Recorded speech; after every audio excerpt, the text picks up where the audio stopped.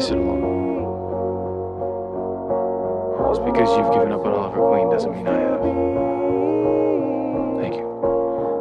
I'm sorry, sir. Mr. Kent hasn't left word.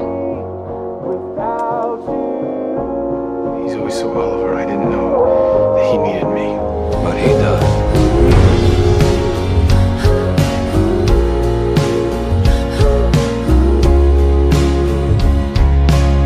You're not one of us anymore.